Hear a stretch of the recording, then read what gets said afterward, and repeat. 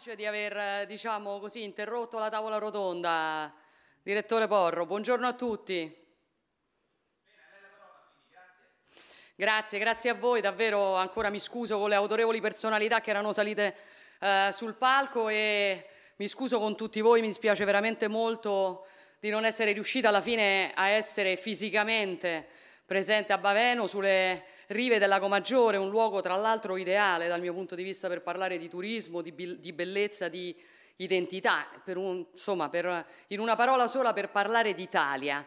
Mi spiace, spero che mi perdonerete, a volte è veramente molto difficile tenere tutto insieme. Mi scuso anche con il Ministro del Turismo Sant'Anché, con Daniela, perché davvero avrei voluto ribadire con la mia presenza fisica quanto apprezzi il lavoro che sta svolgendo e quanto apprezzi la scelta di organizzare questa prima edizione del Forum internazionale del turismo che vede riuniti per due giorni istituzioni nazionali e locali, rappresentanti di categoria, gli operatori del settore, per parlare di come insieme possiamo meglio valorizzare un comparto fondamentale per la nostra economia e per il nostro prestigio.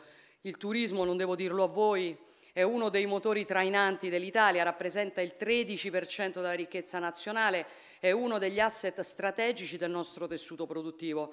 Però a cospetto della sua rilevanza spesso è stato trascurato, potremmo dire che a volte è stato addirittura snobbato ed è un errore che io considero gravissimo sul piano strategico e è la ragione per la quale dall'inizio ci siamo messi al lavoro per dare al turismo nuova centralità, come dimostra anche questo evento, per guardarlo anche da una prospettiva diversa. È il motivo per il quale abbiamo scelto di dare al Ministero del Turismo la dignità di un dicastero autonomo, dotato di portafoglio, capace di porsi come driver delle scelte di settore, come soggetto di coordinamento di politiche che sono intersettoriali e che eh, del turismo costituiscono la precondizione e l'opportunità per ulteriori sviluppi. È una scelta della quale io eh, a distanza di un anno dalla formazione del governo vado ancora più orgogliosa e che possiamo dire si è rivelata vincente. A dirlo sono i numeri. Nei primi quattro mesi del 2023 noi abbiamo registrato rispetto al 2022 il 43% di turisti in più e sempre rispetto all'anno precedente il numero di impiegati nel settore è cresciuto con un aumento di circa 130.000 occupati.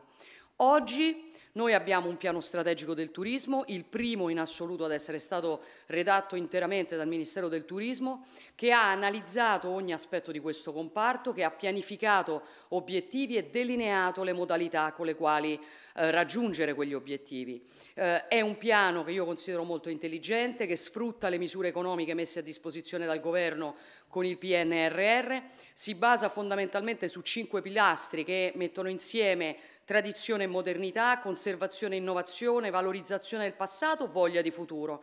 È un piano che prevede un modello di governance che valorizza il ruolo e le competenze delle regioni, che chiaramente conoscono molto meglio le specificità dei territori, però assegna al governo centrale, al Ministero del Turismo, un ruolo rafforzato di coordinamento e indirizzo per rendere più efficaci le politiche di settore e più razionale l'utilizzo delle, delle risorse dedicate al settore. Con questo piano noi diamo anche grande, grande attenzione all'innovazione che è fondamentale per il turismo di oggi, per il turismo di domani.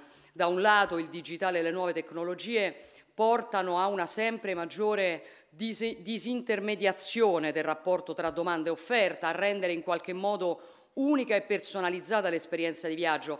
Dall'altra parte quando il digitale non è accessibile in modo uniforme, lo sappiamo bene, può generare molti squilibri nella competizione.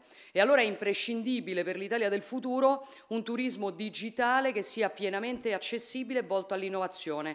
E il piano punta a un miglioramento generalizzato della qualità e della quantità dei servizi che vengono offerti, con una attenzione particolare anche alla promozione delle nostre tipicità, dei nostri territori, dei nostri prodotti, della cultura, della creatività italiana, in pratica del marchio Italia in genere. Un turismo di qualità non può che essere sempre più inclusivo a partire dalla grande opportunità rappresentata dal turismo accessibile. Il piano si concentra anche sul tema della formazione delle carriere, eh, e delle carriere professionali turistiche. In questo ambito io penso che sia fondamentale riqualificare e formare il capitale umano, aumentare le competenze per attrarre alti profili professionali, formare giovani preparati alle sfide del turismo 4.0 e della competizione internazionale che chiaramente si sta facendo sempre più insomma, impegnativa.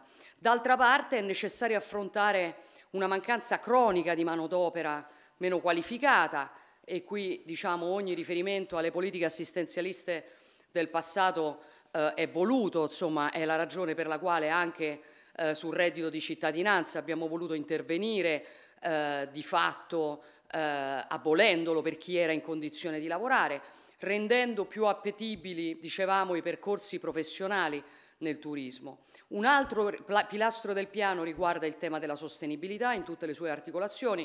Una nazione che detiene un patrimonio storico e architettonico impareggiabile come l'Italia non può non investire sul turismo sostenibile. Deve farlo non soltanto perché è doveroso rispettare l'ambiente, ma perché la sostenibilità unita al nostro splendido patrimonio può generare per noi un vantaggio competitivo molto significativo. E allora bisogna lavorare per favorire l'interazione tra viaggiatore e ambiente con soluzioni di trasporto alternative, sostenere l'integrazione tra turisti e abitanti della destinazione, favorire lo sviluppo sociale ed economico delle realtà locali, che è un'altra un altro elemento di forza della nostra economia. Come diciamo sempre però, la sostenibilità ambientale deve procedere di pari passo con quella economica e sociale. Per questo abbiamo fatto nostre, per esempio, le preoccupazioni di tanti operatori del turismo per l'impatto che avrebbe avuto il cosiddetto regolamento imballaggi sul settore Oreca.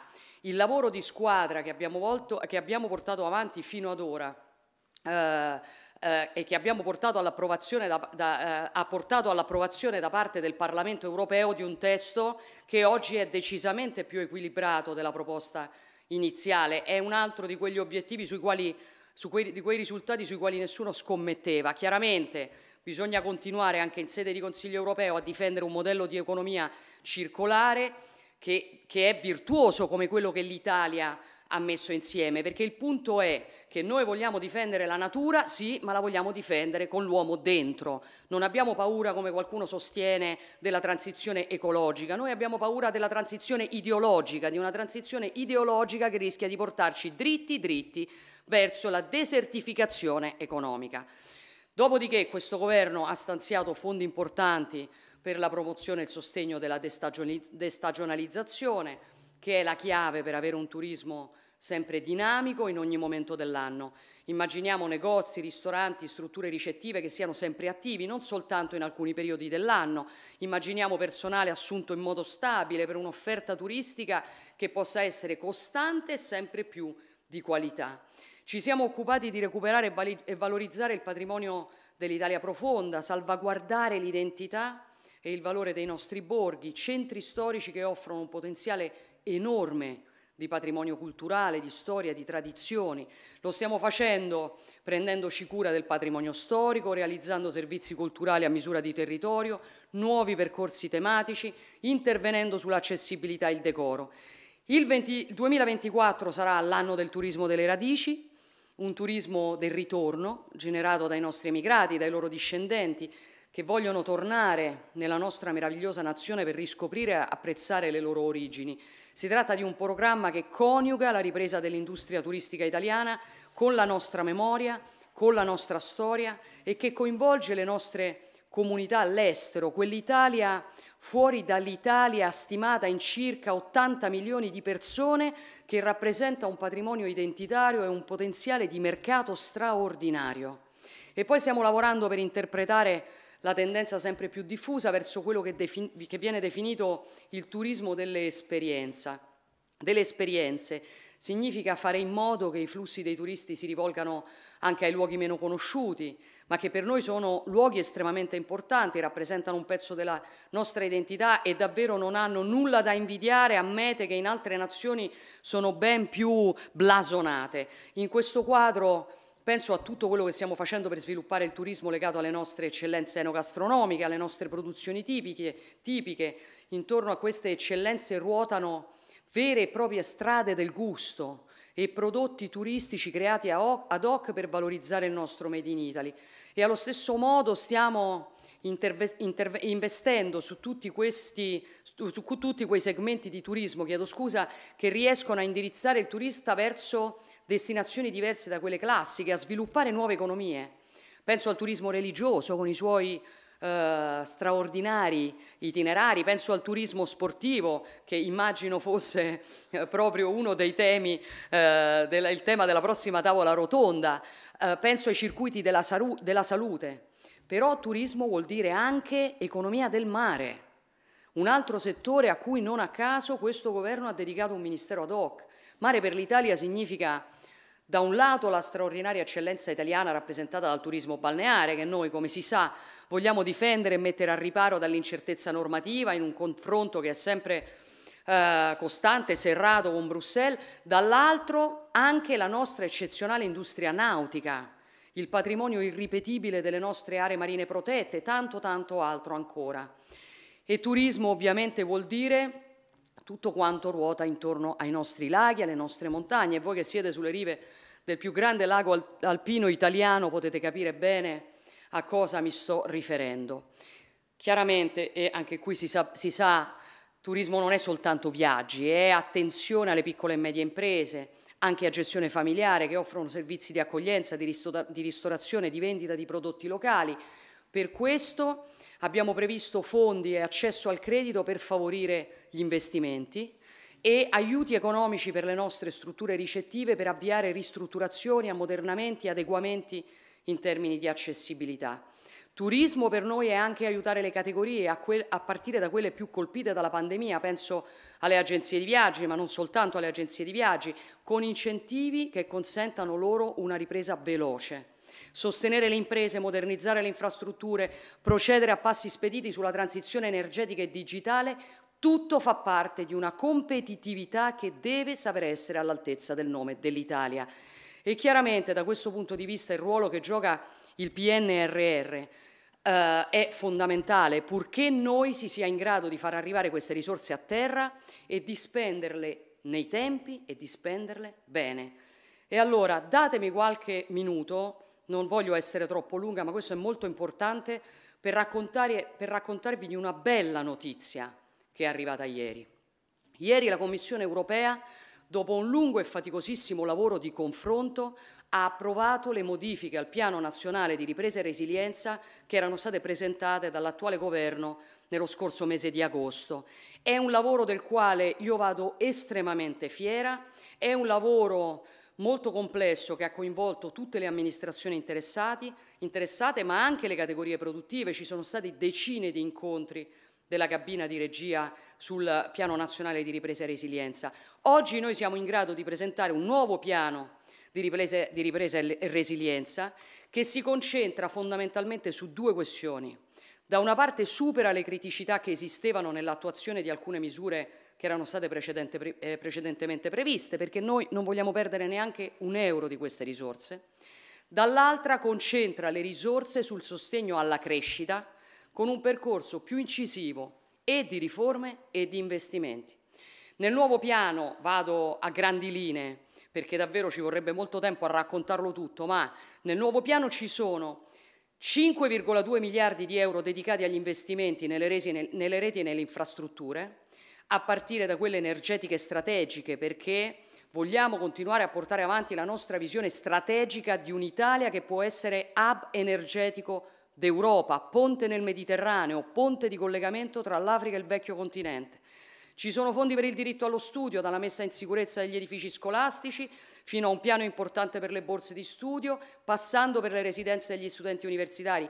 C'è un miliardo di euro per favorire l'accesso al mercato del lavoro, colmare il divario tra domanda e offerta di competenze professionali e quindi aiutare ancora il lavoro. Ci sono altri 750 milioni di euro sulla salute, in particolare per l'assistenza domiciliare integrata e la telemedicina, c'è un altro miliardo e 200 milioni di euro per la ricostruzione delle zone alluvianate a partire dall'Emilia Romagna, ma ci sono soprattutto 12,4 miliardi di euro dedicati alle imprese.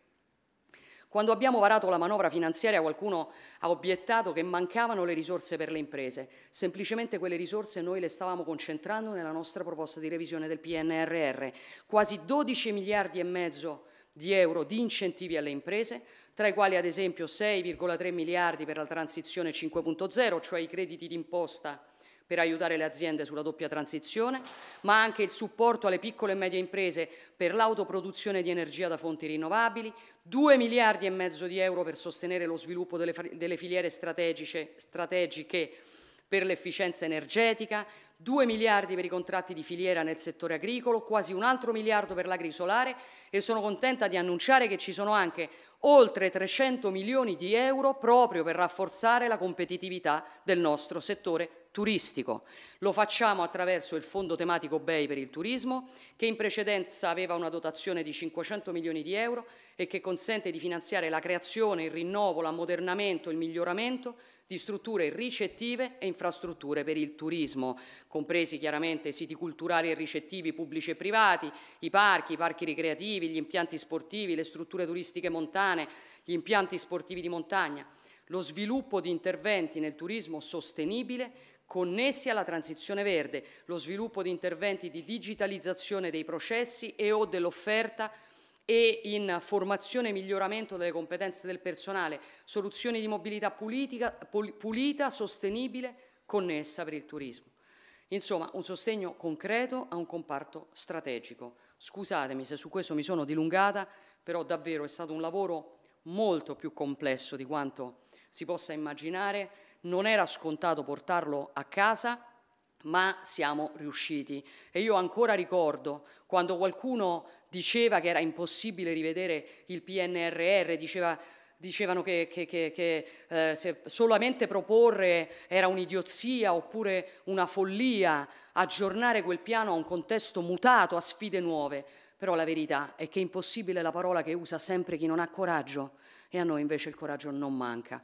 Anche il turismo è coraggio perché in fondo è fatto soprattutto di grandi sfide, è fatto di grandi eventi. L'Italia si sta preparando a ospitare eventi globali e storici allo stesso tempo, penso al Giubileo del 2025, alle Olimpiadi di Milano Cortina, gli, europei di calcio del 2032, stiamo combattendo per l'Expo nel 2030, eventi che porteranno in, in Italia ulteriori milioni di, turismi, di turisti ai quali vogliamo offrire esperienze di viaggio e un'immagine dell'Italia ancora più straordinaria di quanto possano aspettarsi.